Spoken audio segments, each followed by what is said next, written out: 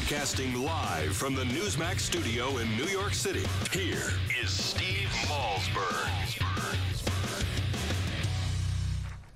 All right, ladies and gentlemen, as you know by now, and we've been talking about this, um, Condoleezza Rice has uh, officially declined her commencement uh, invitation uh, from Rutgers University, saying it's become a distraction after a handful of students uh, who called her a war criminal and a bunch of professors, a couple of hundred of them at least, uh, from Rutgers, uh, petitioned to uh, have her not speak and uh, made her the issue. She graciously, although uh, uh some have said she should have uh, showed up anyway, but she didn't want to become the issue and take away from the graduation. Joining us now is Rudy Bell, Distinguished Professor of History at Rutgers University. Hello, sir.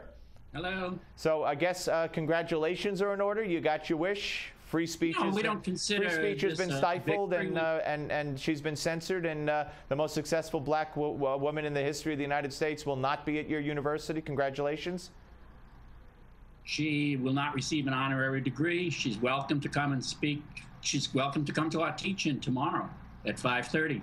Uh, but I don't think she, that's kind of short notice for a busy person. So maybe she wants to come in the fall. That'd be fine. Yeah. Well, well, she first of all she is welcome to come for the commencement. She withdrew. You didn't. You didn't win. The, the school did not rescind the invitation. She decided to not show up, which you might I consider a victory. You called it a win.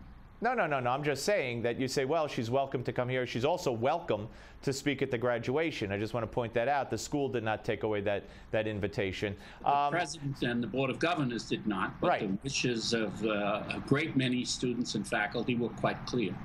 Well, how many students would you say participated in this sit-in in this protest? Like uh, 25, 30? I think it was a lot more than that. And when we ran a poll of all the faculty, we had one of the highest turns out, turnouts ever, and two thirds favored her not coming. Okay, so uh, so but you're you're you're you're happy about that. Uh, you don't call it a victory, but you're, you're happy about her not coming.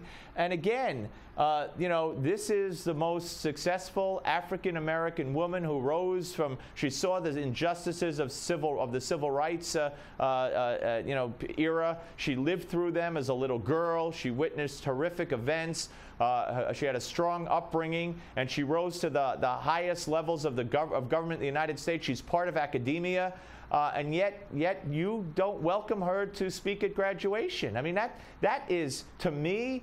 Um, against everything that America stands for and against everything universities are supposed to stand for. But people like me know that universities don't stand for that. Universities want no diversity in thinking. They want people who think like you. And if someone thinks differently, then get them the heck out, shut them up, and keep them away. And that's a tragedy a, just a tirade on your part, which uh, doesn't change the fundamental fact that a person with the adverse upbringing, somewhat adverse conditions, because her parents were very wonderful middle class people who raised her well, uh, which not all of us have uh, can, can, say we share. The fact is that she condoned torture and uh, consciously told lies about uh, weapons of mass destruction. Really? How do, uh, so how do you know she consciously outcome. told lies about weapons of mass destruction, sir? How do you know that? What do you mean by that? Where, where, what do you mean she con- give me one lie that she consciously told? First of all, name me one lie.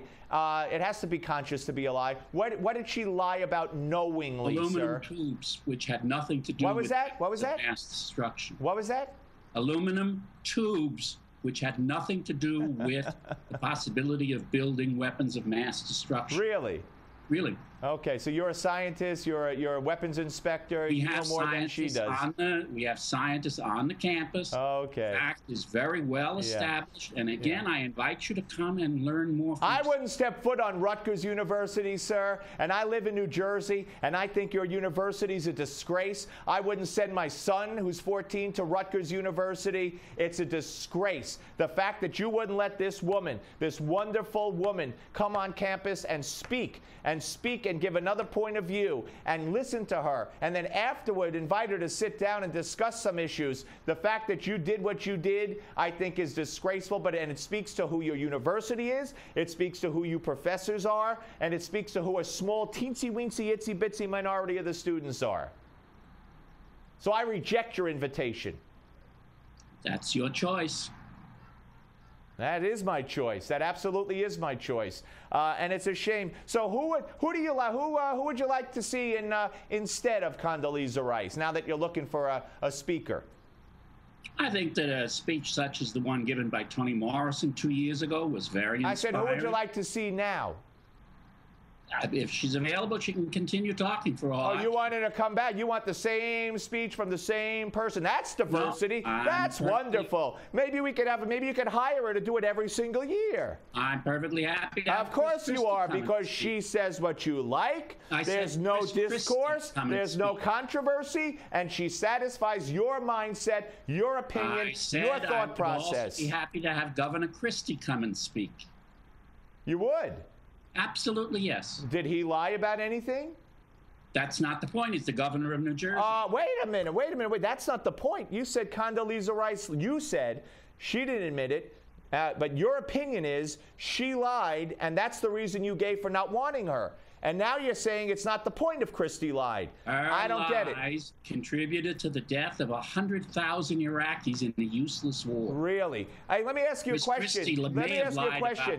Did Saddam Hussein violate 17 or I think it was 19 UN resolutions, sir? Yes, and I wouldn't invite him on. All right. Well, let me ask you something, sir. I know you're not equating Saddam Hussein to Condoleezza Rice, or maybe you are. Um, I'm not. I'm saying you, he's not you- are you in favor? Of the, are you in favor of the United Nations, sir? Do you favor it as a body? yes. So, what would you suggest you do to a person who violates 19 UN resolutions, sir? I believe that economic sanctions are a good approach. Oh, economic sanctions in the wake of 9 11, when this man said he had weapons of mass destruction, said he would use them. When the king of Jordan warned General Tommy Franks, you better watch it. He's going to use them. You better wear the suits. When the whole world thought he had them, you would say, ah, let's talk with him. Right? I invite you again to come. I would never step foot on Rutgers campus. I've been there.